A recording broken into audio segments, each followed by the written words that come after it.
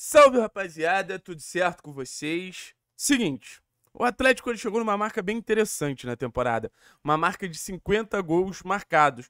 E se a gente parar para pensar que a gente tem mais ou menos 4 meses de temporada, eu acho uma boa marca, acho interessante. Por exemplo, se fala muito mal do ataque do Atlético, que faz poucos gols e tal. Eu acredito que é um ataque que ataca pouco. Eu não acho que é um ataque que faça poucos gols. Por exemplo, a gente tem a mesma quantidade de gols que o Palmeiras na temporada, sabe? Então eu acho que é um número expressivo ali. Você chegar nem na metade da temporada e já ter 50 gols. Tendência é que o Atlético essa temporada novamente passe da marca de 100 gols na temporada, que eu acho que sempre é uma marca muito legal. Mas a gente veio aqui para destrinchar esses gols. Da onde vieram esses gols? Quem mais colaborou com esses gols?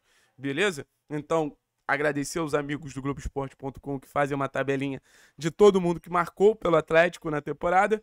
E, e, vamos começar a trocar uma ideia sobre isso. Começar a falar sobre o artilheiro Pablo, né? Por enquanto, o artilheiro da temporada do Atlético. Mas tem um ponto muito curioso do Pablo, né? O Pablo ele só fez gol até agora no campeonato Paranaense. O Pablo ele ainda não marcou no Campeonato Brasileiro, nem na Copa do Brasil, nem na Libertadores. Significa que o Pablo não vem sendo importante nessas competições? Não. Acho que o Pablo já teve bons jogos nessas competições, já deu assistência, enfim. Mas é um ponto de alerta, assim.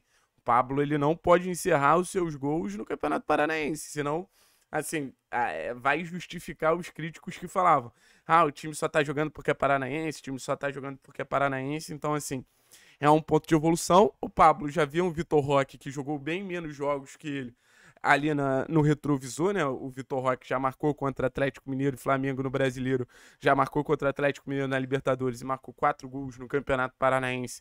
Já aparece ali com sete gols. Você tem o Terence com cinco gols e logo depois vem o Vitor Bueno com quatro. Deixa eu ver Alex e Eric, que eu acho que os dois também têm quatro. Alex e Eric também têm quatro. Eu acho que é um pouco sintomático isso aqui, tá?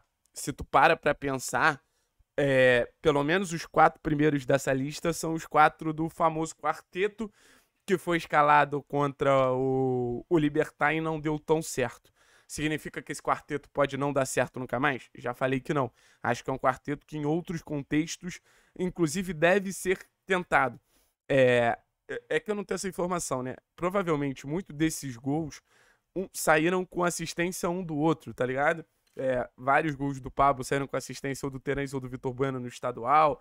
É, acho que o Pablo já deve ter dado assistência também para outros gols desse quarteto. Então, assim, ainda vejo um potencial quarteto ali, porque eu acho que são jogadores que têm potencial de se agregar bastante. É, o Vitor Bueno e o Terence têm, um bom número de gols ali também, como meias e tudo mais. E daqui a pouco a gente vai ver as assistências também. Mas vamos terminar de ver isso aqui, porque, por exemplo, a gente tem um Alex Santana dividindo bem os gols dele também, né? Se eu não me engano, é um gol no estadual, dois gols na Copa do Brasil e um gol na Libertadores.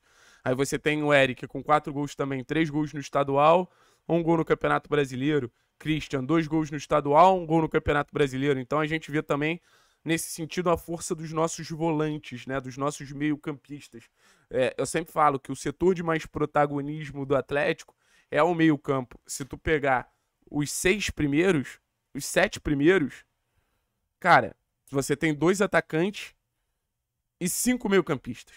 Isso é muito sintomático. E nenhum ponta, tá? Aí, aí descendo que os pontas começam a aparecer. Coelho Canobi, dois gols cada. Zé Ivaldo, dois gols. Rômulo, um gol. Um gol fundamental, inclusive. Arriagada, um gol. Já já que não tá mais no clube, um gol. Kelvin. Cara, devem ter dado o gol do, o Kelvin acho que tem dois gols, não? Porque o Kelvin tem o gol do Maringá e o Kelvin tem aquele. Deve ter dado gol contra. Aquele gol de cruzamento contra o São Joséense. Fernandinho, um gol. Pedro Henrique, um gol. Outro gol muito importante. Mas assim, acho que o ponto é esse. Quarteto lá na frente muito bem cotado.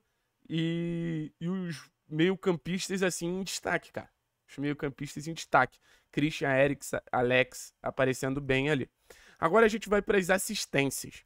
Aí a gente vê um domínio bem grande dele. El Rei da Liderança, oito assistências. É, você teve o, o Terãs se igualando ao Pablo como o cara que mais participou em gols na temporada do Atlético, né? O Terence chega a 13 participações, o Pablo também tem 13 participações, e é interessante, porque a gente falou que o Pablo não tinha gol no Campeonato Brasileiro, nas outras competições, além do Paranaense, mas a gente já vê duas assistências do Pablo no Campeonato Brasileiro. Aí você tem o Vitor Bueno também quatro assistências, Fernandinho aparecendo muito bem com quatro assistências. Então, assim, novamente você vê aquele time do estadual, aquele meio-campo do estadual aparecendo muito bem. A gente sempre fala que quando o Atlético tem Fernandinho, Vitor Bueno e Davi Teran juntos, consegue ter um pouco mais de controle, tem um pouco mais da bola, é mais protagonista. E se tu juntar os três, são 16 assistências na temporada, né? É um número muito expressivo. É, se tu para para pensar, por exemplo, o time que entra contra o Libertar, que é Fernandinho, Alex, Vitor Bueno, Pablo, Terãs e Vitor Roque, cara, são oito do Terãs, quatro do Pablo, quatro do Bueno, quatro do Fernandinho. Aí o Vitor Roque tem quantas? É duas. O Alex Santana tem assistência? Tem uma. Então, do meio para frente, aquele time tinha é, cinco assistências dos volantes, o 16 dos meias, 5 mais 16 21 mais duas do atacante, 23 assistências. Então o Atlético ele é um time que costuma fazer gols com assistências, né? Eu acho que cai um pouquinho aquela aquela lenda que o Atlético ele só faz gol é... o Atlético ele só faz gol de, de jogada individual. Sempre tem alguém dando assistência, sempre tem botando alguém botando o companheiro numa condição melhor. Mas assim, mais uma vez, um número fraco de, de participação dos, de gols dos pontas. Coelho com duas assistências, o Canobi com três, o Vitinho tinha três em muito pouco tempo, né? Então acho bem expressivo os números do Vitinho. Aí você tem Pedro Henrique com uma assistência, Zé Ivaldo com uma assistência. Assim, é... acho que é uma decepção de maneira geral a participação dos pontas nesses 50 gols. Mas acho que a conclusão que a gente pode tirar é o seguinte: acho que a gente tem é, alguns protagonistas na temporada e eu acho que essas tabelas mostram isso. Por exemplo, Terãs e Pablo são os caras que mais participam em gol do Atlético. Eu vejo muito Terãs realmente como esse protagonista e um Terãs de maneira diferente, né? Porque a gente já viu um grande número de gols do Terãs no aspecto dele marcar os gols, no aspecto dele ser a peça que, que desequilibra, sabe? Mas agora a gente vê um Terãs dando muitas assistências, um Terãs botando muitos companheiros na cara do gol. E eu acho legal ver esse Terãs mais plural, podemos dizer assim. O Pablo também dando muitas assistências, um Vitor Roque crescendo bastante no número de gols. Já são nove participações em gol na temporada, no número reduzido de jogos, não jogou boa parte do Campeonato Paranaense, então número legal, os volantes participando bem, Alex com bons números de gols e assistências, Fernandinho com bom número de assistência, o Eric com bom número de gol, o Christian com bom número de gol. Então, assim, dá para dizer que é um Atlético plural e que deve priorizar o seu meio-campo. Acho que o grande ponto é esse: priorizar o seu meio-campo e deixar um pouco de lado uh, as pontas, porque não vem entregando.